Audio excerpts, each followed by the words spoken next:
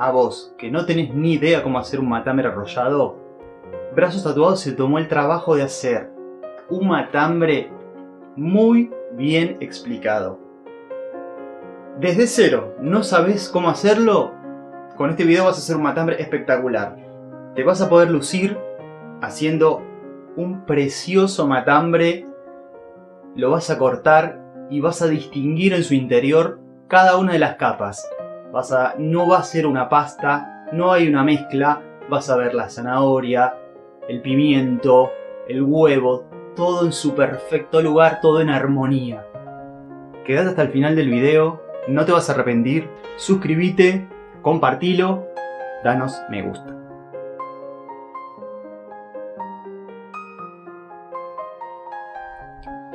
Vamos a necesitar para esta receta un matambre. En este caso, el mío pesaba 1,8 kg. Aproximadamente la mayoría de los matambres pesan entre 1,5 kg y 2 kilos. Lo extendemos sobre la mesada y vamos a empezar a retirar todo el exceso de grasa, colocando el cuchillo en forma paralela a la carne. Colocando la cuchilla de esta forma vamos a evitar realizar cortes en la carne.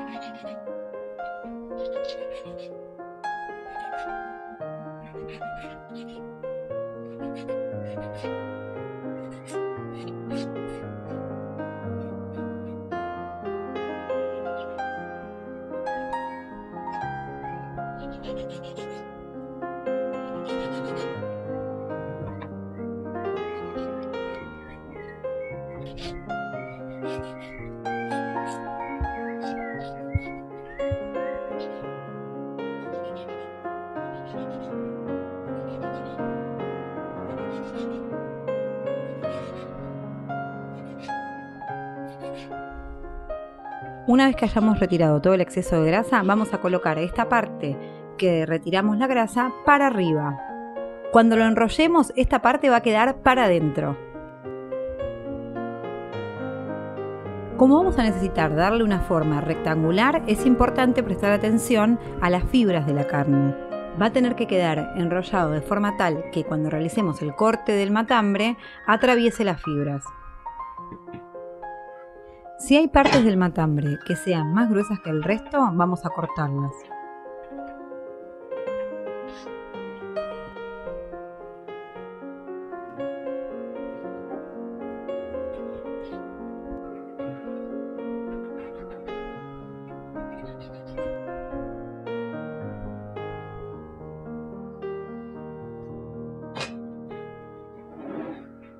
Y vamos a realizar los cortes para darle una forma rectangular.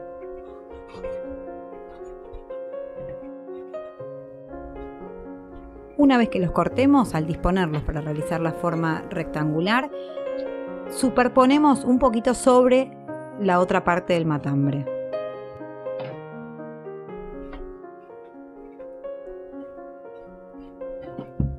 Una vez que está listo, vamos a reservarlo y vamos a preparar el relleno.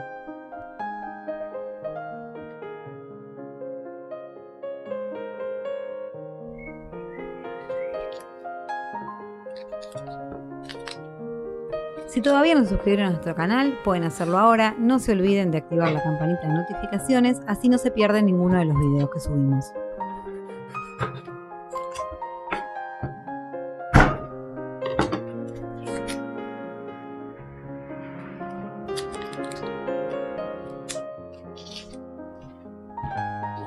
Picamos 5 dientes de ajo.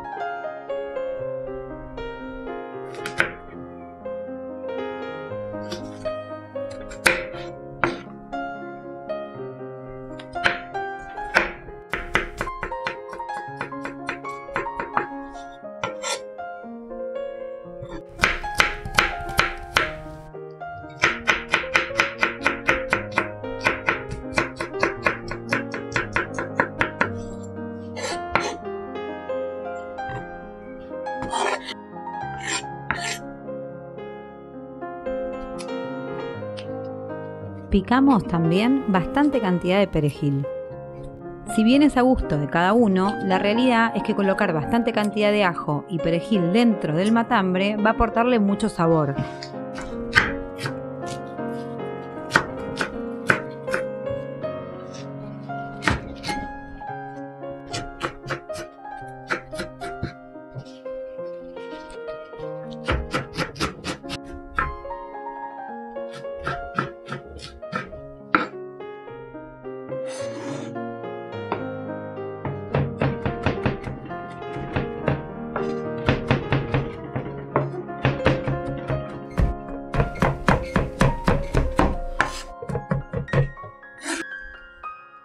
Una vez que está bien picado, lo reservamos.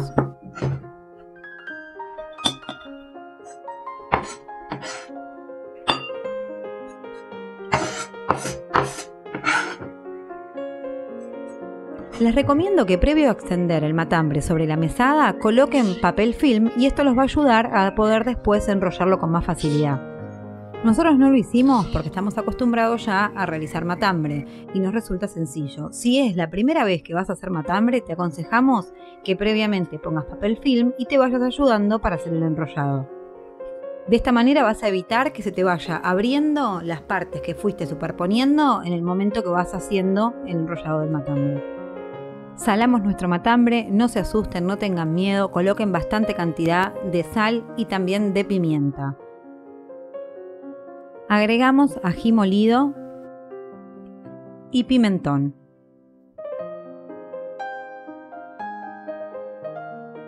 Aunque a ustedes les parezca que estamos poniendo bastante cantidad, les aseguro que no es mucho, no va a quedar ni picante ni salado.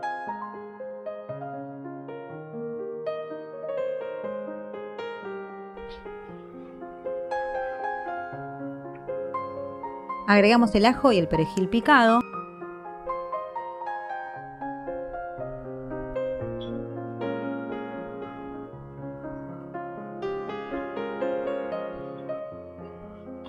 Vamos a tener cuidado de dejar unos 2 centímetros, 2-3 centímetros aproximadamente en uno de los extremos sin poner ahí relleno para que después nos permita cerrarlo. Es decir, el lugar a donde no coloquen el relleno es el lugar de cierre, donde van a finalizar el enrollado de matambre. Agregamos una zanahoria rallada y la distribuimos bien a lo largo de todo el matambre.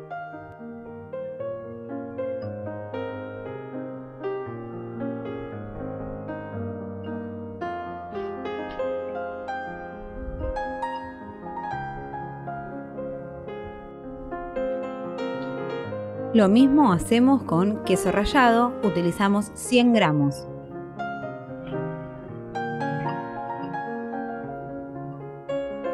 Puedes utilizar también queso en hebras.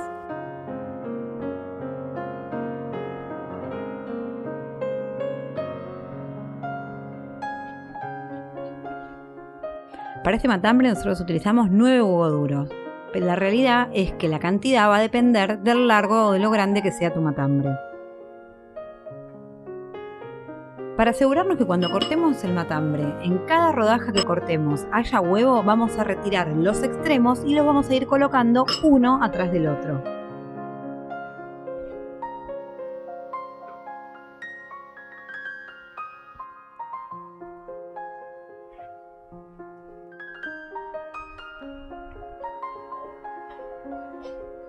Cortamos un morrón colorado crudo en tiras y lo colocamos sobre el matambre.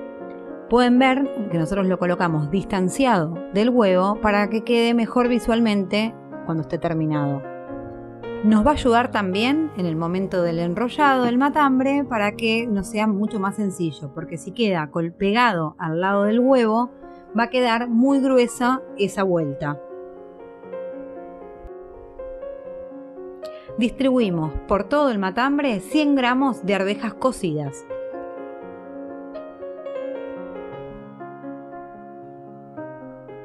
Por último, le esparcimos 14 gramos de gelatina sin sabor. Vamos a utilizarla sin hidratar porque esto va a ayudar a que todos los jugos que vayan largando las verduras y el matambre en el momento de la cocción queden retenidos dentro. Este es el momento más importante, que es el enrollado.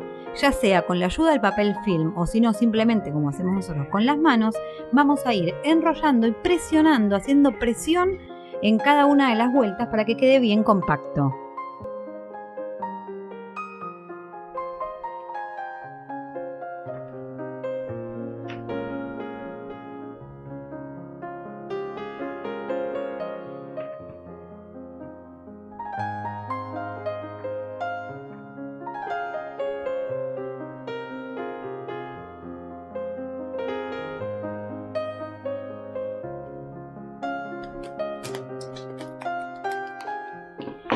Y ahora vamos a darle varias vueltas con papel film.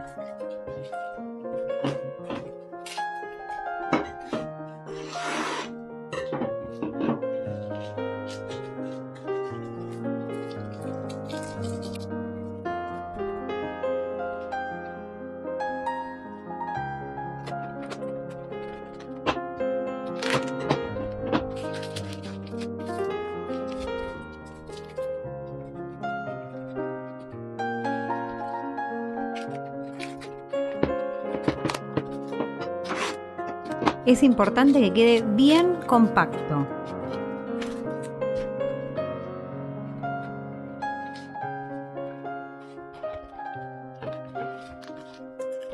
tenemos que tener mucha precaución en los extremos de que quede cerrado para que cuando lo pongamos a cocinar el relleno no salga por los extremos.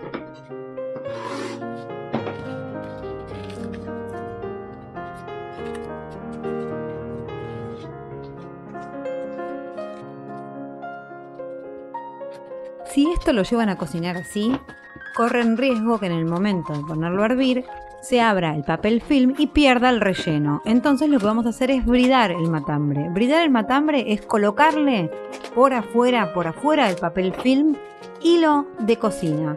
El hilo de cocina es un hilo de algodón. Cualquier hilo de algodón les va a servir para hacer esto. Comenzamos dando una vuelta con el hilo y le hacemos dos nudos para que quede bien firme. Una vez que hicimos eso, damos una vuelta de hilo en la mano, lo giramos y lo pasamos por abajo del matambre.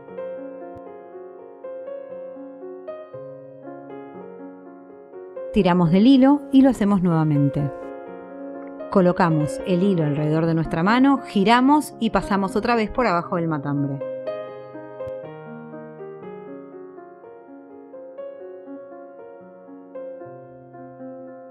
Cada vez que pasamos una vuelta de hilo, tiramos para que quede bien tensado. Si en este momento se llega a cortar el hilo, no se asusten, pueden hacer un nudo y pueden comenzar nuevamente desde ese lugar a donde se cortó.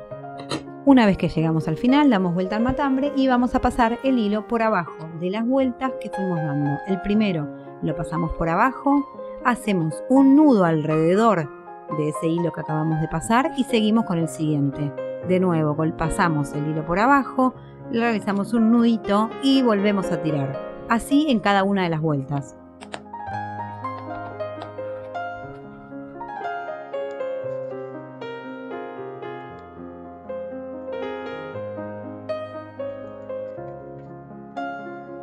De esta manera vamos a terminar en el mismo extremo donde habíamos comenzado.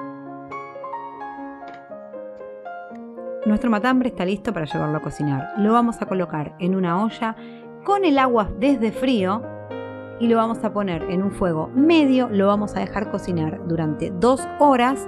Si es necesario pueden ir agregando más agua si ven que se va evaporando. Hay mucha gente que agrega cubitos de caldo, lo saboriza. La realidad es que al contener el papel film no es necesario porque no va a aportarle ningún sabor extra. Todo el sabor de nuestro matambre está en el relleno. Pasadas las dos horas lo vamos a dejar enfriar dentro de la misma olla. Este paso que nosotros hacemos, que es prensar el matambre, es opcional. Nosotros lo hacemos porque nos gusta que nos quede el matambre con una forma ovalada.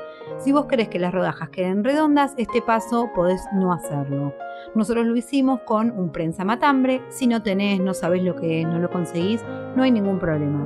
Podés colocarlo entre dos tablas de madera y poner una olla, algo que haga peso arriba. Lo vamos a llevar a la heladera, mínimo durante dos horas. Yo te aconsejo que lo dejes toda la noche, si querés un día mejor todavía, porque adquiere mucho mejor sabor. El prensado se va a lograr con el mismo frío que le dé, con lo cual con dos horas es suficiente. Pero si lo podés realizar un día antes de que lo quieras consumir, va a quedar muchísimo más concentrado el sabor y más rico.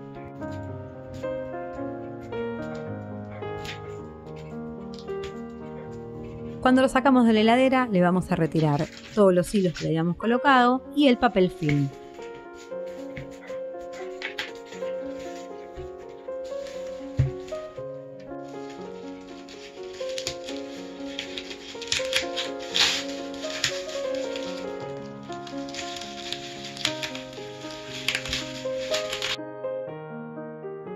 Una vez que lo corten van a poder ver cómo están todas las capas bien diferenciadas y no les puedo contar el sabor que queda.